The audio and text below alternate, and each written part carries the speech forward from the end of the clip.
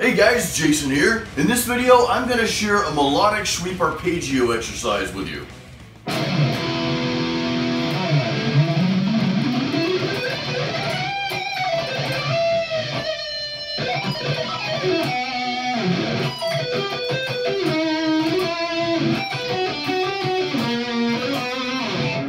Alright guys, so let's break down that last little piece. That's the part I want to show you. So let's throw up the tablature and we'll go over this note for note.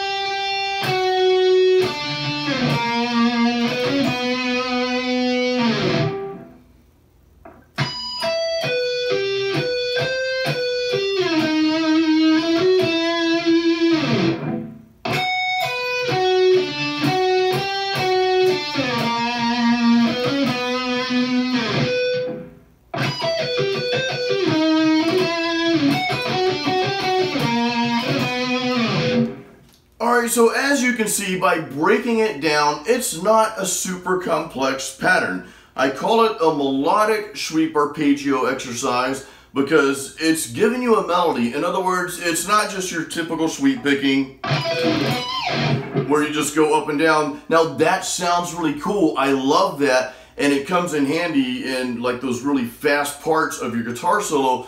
But I kind of want to take us a step back and I want us to think more about what we're playing and the notes that we're hitting. And more importantly, I want us to think about how those notes are speaking to you as the guitar player, as the writer of your music, and also to your listener. How are those notes speaking to the listener? If you just play the same standard, you know, sweep arpeggios, that's awesome. And I've talked about this in many, many of my lead guitar lessons and my other videos that's great that you can do that, but after you do that for a few seconds, it just gets kind of dull and bland. So it's like having chicken wings with no hot sauce. you know, you need some of that spice on there to, to give it life and, and bring it to being, that sort of thing. So that's why I'm, I'm going over this very specific, uh, what I'm calling a melodic sweep arpeggio exercise. You've got some melody in there, and I want to go through it one more time and I want to go through kind of the semantics of the sweep arpeggio. We're using the sweep picking pattern or the sweep, sweep picking technique to start out, but we're kind of starting out in reverse. So I'm going to come back to the lesson real quick here. You, you don't necessarily want to pick each note. You don't want to go, you kind of want to let that pick fall up, if that makes sense. So just practice on this first three notes. It's, you're, you're playing on the uh, the GBC or the EBC. I'm sorry, there's no C in there. The the E B G strings, but you're you're falling up in that order. So it's the uh, it's the 19th fret, the 17th fret, and the 16th fret. So just practice that if you're having trouble starting out. And then, of course, then you go to the next string, the D string, and you're going to be hitting the 17th fret. So that's the sweep part. You know, that's that sweep arpeggio part of the lesson. But then we move into something a little bit more unique. We go back to that note. And then we do this. So we kind of go back and forth. We're kind of flip-flopping back and forth there. Uh, and it kind of tricks your fingers. It's like, okay, I'm going this way. Nope, I'm going that way. You're like, nope, we're really going this way. And then we fall into kind of like more that melodic uh, pattern that kind of catches you off guard.